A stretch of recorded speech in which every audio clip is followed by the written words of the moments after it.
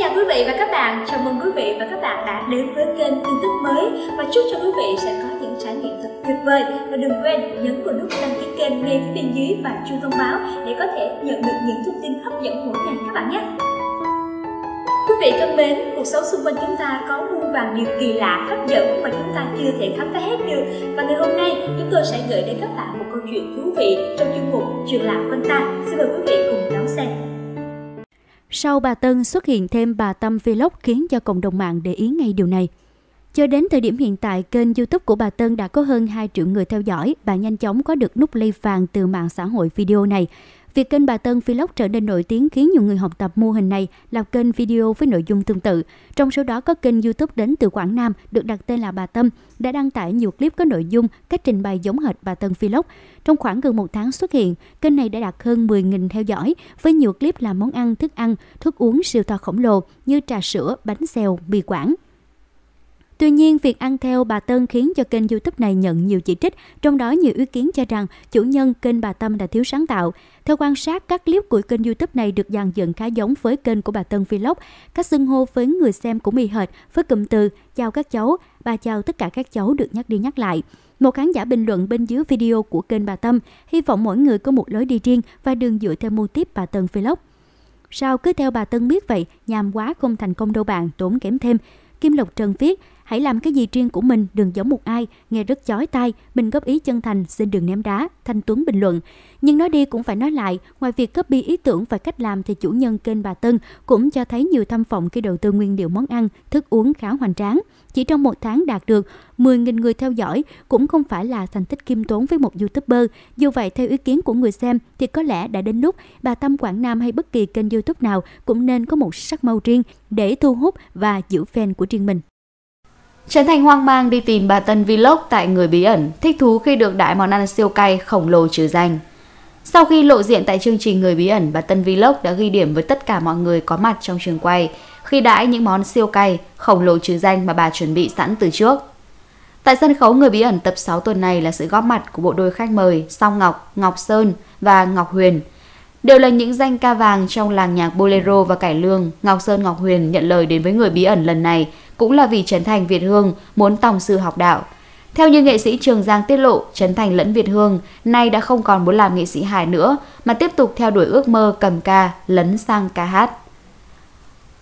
Trong một diễn biến khác, tại vòng 2 người bí ẩn tuần này, các nghệ sĩ lần đầu gặp gỡ bà Tân Vlog là người phụ nữ nông dân nhận được nút vàng YouTube trong thời gian nhanh nhất tại Việt Nam.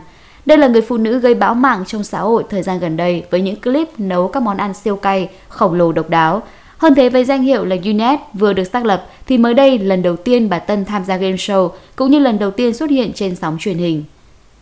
Cách đây không lâu, nghệ sĩ Trấn Thành khiến cộng đồng mạng vừa tò mò vừa thích thú khi chia sẻ trên mạng xã hội tấm hình chụp chung với bà Tân Vlog tại sân khấu người bí ẩn. Nhưng nào ngờ theo lời chia sẻ của Trấn Thành, anh cho biết trước đó anh chỉ nghe qua tên của bà Tân Vlog chứ chưa xem một sản phẩm nào của người phụ nữ đặc biệt này. Mặt khác, tất cả những người bí ẩn hóa trang bà Tân đều được chọn lọc cũng như hóa trang kỹ lưỡng, khiến thử thách càng thêm phần khó. Không riêng gì Trần Thành, nghệ sĩ Việt Hương và Ngọc Huyền khá mơ hồ trước hiện tượng bà Tân Vlog khi đưa ra đáp án cuối cùng tại vòng 2. Ngoài ra, sau khi lộ diện tại chương trình, bà Tân Vlog còn ghi điểm với tất cả mọi người có mặt tại trường quay khi đãi mọi người những món ăn siêu cay, khổng lồ trừ danh mà bà chuẩn bị sẵn và đem đến người bí ẩn. Trần Thành lên tiếng thán phục bà Tân Vlog đã vượt cả tôi và Trường Giang. Lần đầu tiên bà được bay vào Sài Gòn gặp Trấn Thành, Trường Giang, bà vui lắm. Bà Tân Vlog chia sẻ. Tối ngày 23 tháng 6, tập 6 chương trình Người Bí ẩn lên sóng với nhiều tiết mục hấp dẫn và bất ngờ. Mở đầu chương trình, Trường Giang tiết lộ, Trấn Thành và Việt Hương không muốn làm nghệ sĩ hài nữa, họ muốn làm ca sĩ và đi hát. Tuy nhiên khi Trấn Thành vừa hát xong, Ngọc Sơn và Ngọc Tuyên xuất hiện. Ngọc Sơn nghe đề nghị của Trường Giang, hát lại bài tình Cha với chất giọng mùi mẫn, nội lực khiến Trấn Thành phải bái phục. Trong khi đó Ngọc Huyền lại phiêu những câu vọng cổ đầy kỹ thuật với làn hơi bài hát bất tận. Được biết, Ngọc Huyền mới về Việt Nam được một thời gian nên ít khi hát trên game show truyền hình như vậy. Tiếp đó, Ngọc Huyền chia sẻ thêm ít điều về mối quan hệ giữa mình và Ngọc Sơn. Cô nói, Ngọc Sơn và tôi có mối giao tình khá thân suốt ba mươi mấy năm qua, bởi vậy anh em tôi sẽ hợp tác chặt chẽ. Chúng tôi đúng là cặp đôi, song Ngọc như Trường Giang vừa giới thiệu. Ấn tượng nhất chương trình tuần này là sự xuất hiện của bà Tân Vlog, nhân vật đang làm mưa làm gió mạng xã hội suốt thời gian qua. với loạt clip triệu view và hơn 2 triệu lượt sub. Ngọc Sơn vừa nhìn thấy bà Tân đã chạy tới ôm chầm lấy bà và nói cho cháu lên bắt tay bà Tân một cái để tỏ lòng ngưỡng mộ. Trấn Thành thì thừa nhận kênh của bà Tân cao hơn cả kênh của tôi với Trường Giang, đạt tới hơn 2 triệu sub. Dễ sợ lắm, chỉ có làm đồ ăn thôi đấy, bà Tân đã vượt cả tôi và Trường Giang. Anh còn tỏ ra bất ngờ. Bà ơi, mới hôm qua, cháu mới được biết từ bà, cháu nghe nói bà nổi tiếng trên mạng bởi những món siêu cay, siêu khổng lồ. Vốn tính thật thà, bà Tân Vlog vẫn giữ cách xưng hô bà cháu như trong clip. Vừa nhìn thấy Trấn Thành bà thốt lên. Lần đầu tiên bà được bay vào Sài Gòn gặp Trấn Thành Trường Giang, bà vui lắm. Khi được Trấn Thành hỏi về quá trình làm các clip vlog, bà Tân trả lời thành thật. Bà có ý tưởng làm clip với những món siêu cay, siêu khổng lồ từ lúc con trai bà là Hưng Vlog mời vào làm clip của nó. Làm xong bà đi ra đường hay đi làm, thấy bà con cô bác trêu quá, bà thấy vui nên về bảo con trai, hai con lập cho mẹ kênh riêng, mẹ thấy vui lắm. Bà vẫn làm ruộng làm rau, đi phu hồ nên vẫn có tiền làm clip, kinh phí làm clip của bà từ làm ruộng phu hồ mà có. Bà Tân cũng chia sẻ bà không có ý định đóng phim hay làm gì khác. Bà làm vì vui thôi, làm xong lại chia cho mọi người trong xóm. Bà không định đóng phim hay tham gia showbiz vì bà đi đóng phim thì ai mà xem. Trên sân khấu chương trình, bà Tân mang đến những món siêu cay, siêu khổng lồ do chính mình tự làm để mời mọi người. Bà nồng hậu nói, hôm nay bà được các cháu nghệ sĩ mời ra đây nên có làm một đĩa xúc xích khổng lồ, mời các cháu ăn. Bà Tân cũng dắt theo con trai mình là Hưng Vlog lên sân khấu. Đây chính là người giúp bà nổi tiếng như ngày hôm nay. Chưa đầy 2 tháng, kênh youtube Bà Tân Vlog được cấp bằng xác nhận kỷ lục Việt Nam. Mới đây, trên trang fanpage chính thức của mình, bà Nguyễn Thị Tân, bà Tân Vlog vừa đăng tải thông tin nhận bằng xác lập kỷ lục từ Tổ chức Kỷ lục Việt Nam. Kênh YouTube được lập bởi con trai bà Tân chưa đầy 2 tháng đã đạt kỷ lục này. Trong thời gian gần đây, cái tên bà Tân Vlog hay cụm từ siêu to siêu khổng lồ đã trở nên quen thuộc với nhiều người. Cùng với đó, thì kênh YouTube Bà Tân Vlog của bà Nguyễn Thị Tân 58 tuổi trở thành tâm điểm bàn tán của dư luận về sự thành công nhanh chóng của nó.